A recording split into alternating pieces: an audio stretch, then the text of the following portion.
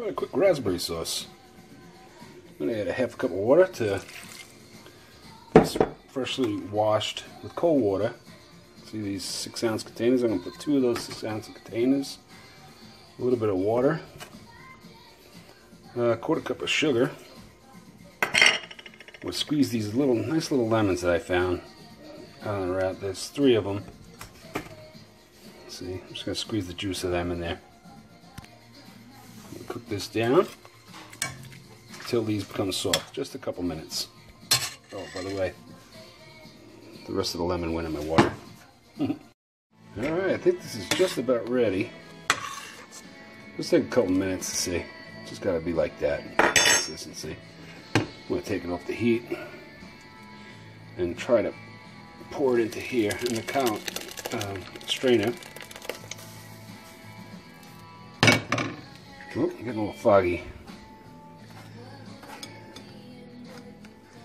This is what we do. We scrape this, strain it, and squeeze all that goodness out of that. It's coming out nicely. It's a little bit wet. There's a reason why I made it like this. So if you want it a little drier, you could add um, a little bit of cornstarch with that water. It'll make it like a slurry and thicken it up really nicely. Could actually do it now still too. But the reason why I didn't do it, I'll show you in a minute. A little bit. It's still steaming, really nice. But um, I decided to add a little bit of cornstarch and water. See this slurry, you got to make it with cold water. I just use a little bit. Go pour it in there and watch, watch what happens. See, is it that beautiful color? See, it's a little thick. See, if you use um, if you use it hot, it doesn't break down. See, now,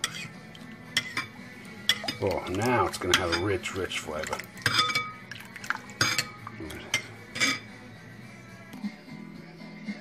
No, not fooling around. See how this sauce tastes with a brownie. Oh, brownie's kind of breaking apart. Mmm. Hmm.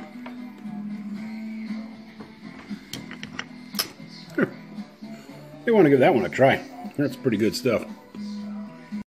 Oh, a few more minutes. A few more minutes on that stove and it really thickened up. Look how thick that looks. Beautiful, huh? Mm, this is going to taste good.